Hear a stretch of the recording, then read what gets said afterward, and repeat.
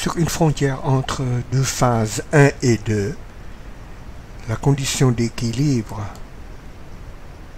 qui dit que l'énergie libre de Gibbs de la phase 1 doit être égale à l'énergie libre de Gibbs de la phase 2 doit être maintenue tout au long de cette frontière-là. Ce qui implique que cette égalité doit tenir aussi pour la différentielle de G. En d'autres termes, on doit avoir dg de la phase 1 égale à dg de la phase 2. Or, par la relation fondamentale pour euh, l'énergie libre de Gibbs, on sait que dg est égal à moins s dt plus v dp, et ça doit être vrai pour la phase 1 comme pour la phase 2.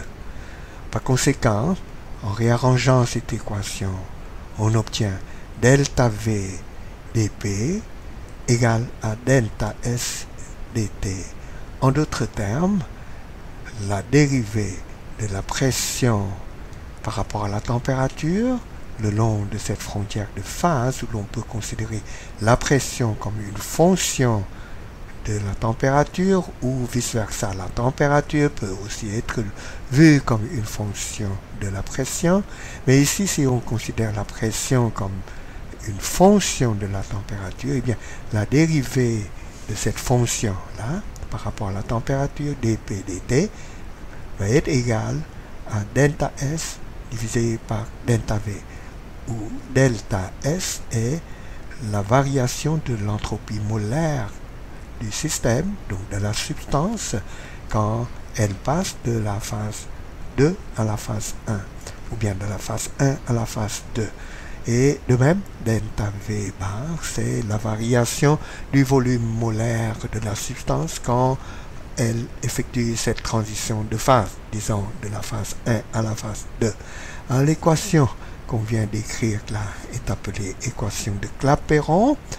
Elle peut encore se réécrire sous une forme plus utile encore si on fait appel au fait que tout au long de cette frontière de phase, la condition d'équilibre qui dit que delta G est égal à 0, en delta G est égal à delta H moins T delta S, ce qui implique donc que delta S est égal à delta H sur T, hein, et ça est toujours vrai à chaque point de cette frontière de phase. Donc, on peut remplacer delta S au numérateur ici par delta H sur T pour obtenir finalement hein, dérivé de la pression par rapport à la température, donc pente de cette euh, euh, courbe-là, de cette frontière en un point donné, ça doit être égal à delta H évalué en ce point divisé par la température fois delta V toujours en ce point-là. Alors ça c'est la deuxième forme de l'équation de Clapeyron. Continuons maintenant avec euh, la situation où l'une des deux phases est une phase gazeuse. Donc par exemple dans ce cas-ci, hein, on a équilibre le long de cette frontière en vert là entre l'état liquide et l'état gazeux. Donc c'est un, euh, un équilibre euh, liquide-vapeur qu'on a ici. Hein. Alors, à chaque fois que vous avez une deux phases qui est gazeuse, Hein, vous pouvez être sûr que delta V de transition de phase est dominé par le volume du gaz. Donc delta V est essentiellement égal à RT sur P, puisqu'on parle du volume molaire ici. Donc en remplaçant delta V ici par RT sur P, hein, on voit que l'équation de Clapeyron prend une autre forme qui est celle-ci, qui dit que c'est la dérivée de ln de P par rapport à la température que l'on a là et qui est égale à delta H divisé par RT fois un autre T, donc RT au carré. Cette équation-là s'appelle équation de Clausius-Clapeyron. Elle, a, est à être utilisée, elle doit être utilisée à chaque fois que vous avez une frontière de phase entre deux phases euh, parmi lesquelles il y a une phase qui est gazeuse. Alors, si delta H peut être considéré comme constante le long de cette frontière de phase, ou, du moins entre deux points, entre deux températures T1 et T2 par exemple, alors l'équation Clausius-Clapeyron s'intègre facilement pour obtenir, pour donner ln de P évalué en T2 divisé par P évalué en T1 égale delta H sur R fois 1 sur T1 moins 1 sur T2. Parce que l'intégrale de 1 sur T au carré qui apparaît au deuxième membre de l'équation de Clausius-Clapeyron est moins 1 sur T. Voilà.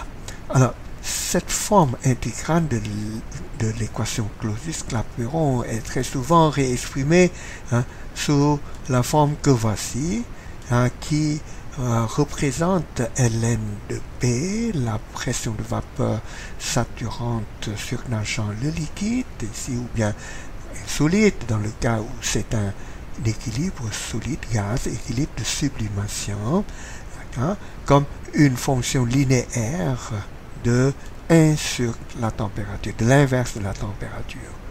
Voilà, avec pente négative qui, qui, qui, qui vaut moins delta 1 sur R. Plus souvent encore, dans la littérature, on exprime, on donne cette relation-là, hein, ou bien on exprime la variation de la pression de vapeur saturante en fonction de la température sous la forme que voici, dans laquelle ce n'est pas le log népérien que l'on voit, mais c'est plutôt le log en base 10 de la pression euh, saturante exprimée dans une certaine unité Hein, qui euh, se comporte comme une fonction linéaire de euh, la variable 1 sur t. Voilà, avec pente qui est moins b, c'est un paramètre empirique dans le sens que c'est généralement euh, obtenu expérimentalement, trouvé expérimentalement, mais vous pouvez voir que hein, B là hein, ne représente rien d'autre que l'enthalpie euh, de transition de phase, euh, vaporisation par exemple, divisé par R et probablement hein, euh, divisé par le log népérien de 10 aussi parce que on passe là au log en base 10. Alors la prochaine diapositive vous montre une application, un exemple d'application de l'équation de Clausius-Clapeyron. Là c'est sur l'exemple de la vaporisation de à l'eau, donc de H2O liquide, à la température euh, d'ébullition normale euh, de l'eau euh, et évidemment sous la pression atmosphérique ou plutôt pression standard 1 bar. Et le problème ici, c'est de calculer la nouvelle température d'ébullition qui accompagne une augmentation de la pression de 2 bars à partir de la pression standard pour obtenir une pression finale de 3 bars. Donc on aimerait trouver, on voulait trouver la température T2 à laquelle correspond cette pression-là de 3 bars comme pression de vapeur saturante. d'après l'équation de Clausius-Clapeyron, cette pression est reliée à la température de cette, la façon suivante. Donc vous avez Ln du rapport entre la pression à T2 qui est 3 bars et la pression à T1 qui est de 1 bar, moins delta H de vaporisation ici divisé par R fois la première température qui est 373 Kelvin, et ça doit être égal à moins delta H sur R fois 1 sur T2. Alors, en inversant cette équation, on serait capable d'obtenir hein, la température T2 qui est la température d'ébullition hein, de l'eau ici, hein, une pression de 3 bars. Application numérique, alors euh, ln de 3 sur 1 c'est ça, moins delta H qui est ceci, divisé par R fois T1 qui est 373,15 Kelvin, égale à moins delta H sur R fois 1 sur T2. Voilà. Alors, en inversant ça, on a trouvé finalement que la température T2, qui est donc la nouvelle température d'ébullition, à, la nouvelle pression qui est de 3 bars, vaut 407,25 Kelvin comparé à 373 Kelvin qui était la température d'ébullition normale, donc à la pression standard de 1 bar. Donc la température d'ébullition a augmenté, ça, euh, euh, et ça c'est le résultat obtenu par l'équation de Clausius-Clapeyron. On peut comparer ce résultat avec celui calculé juste avec l'équation de Clapeyron qui ne tient pas compte du fait que euh, le volume de transition de phase change, euh, varie avec la température comme euh, Clausius-Clapeyron le fait. Alors avec l'équation Clapeyron seule, hein, on avait obtenu 430 Kelvin comme nouvelle température d'ébullition. Hein, qui représente une élévation de température d'ébullition bien plus, plus grande voilà, hein, que prédit par l'équation Clausius-Clapeyron. L'équation Clapeyron surestime cette élévation de température. Hein, dit tout à l'heure que l'équation Clausius-Clapeyron qui se présente sous forme différentielle comme ceci, ça intègre pour donner ça qui représente une variation linéaire de Ln de la pression de vapeur saturante en fonction de 1 sur T avec pente moins 1 sur R et intercept à l'origine qui dépend des propriétés du, du système, donc de l'équilibre à une température de référence, par exemple point triple ou bien, etc. Voilà, une euh, expérimentalement, je vous aussi que tout, à l'heure que expérimentalement, hein, cette relation de cette équation de Clausius-Clapeyron hein, est plutôt donnée sous cette forme-là, du log en base 10 de la pression de vapeur saturante exprimée dans une certaine unité en fonction de 1 sur T. Et selon cette relation, c'est une variation linéaire hein, de euh, ça avec un sur T.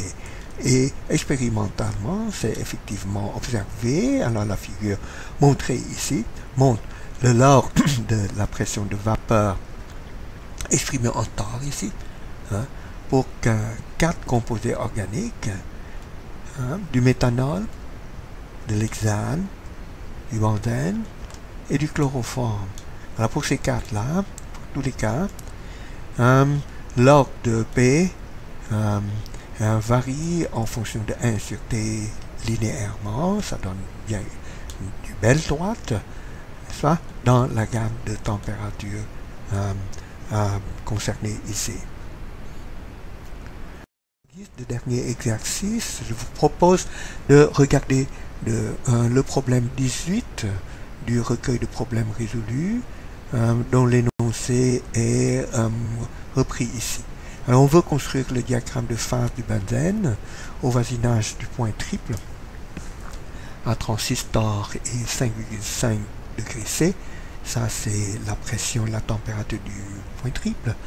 En utilisant les données suivantes, on vous donne delta H de fusion 10,6 kJ par mol, delta H de vaporisation 30,8 kJ par mol et on vous donne aussi la densité ρ de l'état solide, 0,891 g par centimètre cube, euh, et euh, la densité euh, du liquide aussi, 0,879 g par centimètre cube. Vous voyez que ça ne diffère pas énormément. et en inversant ça, en utilisant la masse molaire connue du benzène, on peut évidemment tirer le volume molaire du solide et de l'état liquide, hein, donné dont on a besoin pour calculer le delta V ici à être utilisé dans l'équation de Clapeyron qui est présentée ici sous forme intégrale. cette équation de Clapeyron est utile pour décrire, ici c'est pour calculer même, hein, une frontière de phase comme cette frontière de phase solide-liquide du benzène. Hein.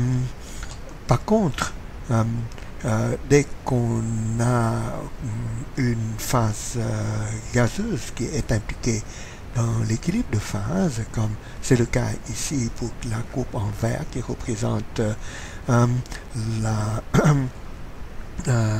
la frontière entre les deux phases liquides et vapeur pour le benzène, et il faudrait bien utiliser l'équation de Clausius-Clapeyron plutôt que Clapeyron. Euh, alors c'est effectivement ça qui a été utilisé hein, pour obtenir cette courbe en vert là. Hein. Et euh, avec les valeurs de euh, la valeur d'intense de vaporisation dont on a besoin ici, hein, et on a, on a pu réécrire ça sous la forme que vous trouverez normalement présentée comme représentatif de la variation de la pression de vapeur saturante de, du benzène euh, dans l'équilibre euh, liquide-vapeur hein, en fonction de l'inverse de la température. C'est pareil pour euh, la courbe de coexistence entre les deux phases solide et vapeur, donc courbe dénotant l'équilibre solide-gaz, c'est-à-dire la, sublimation de euh, C6 euh, du benzène. Euh, voilà. Et encore une fois, là, parce qu'on a une phase vapeur, on doit utiliser l'équation de Clausius-Clapeyron plutôt que Clapeyron. Voilà. pense que c'est tout ce que je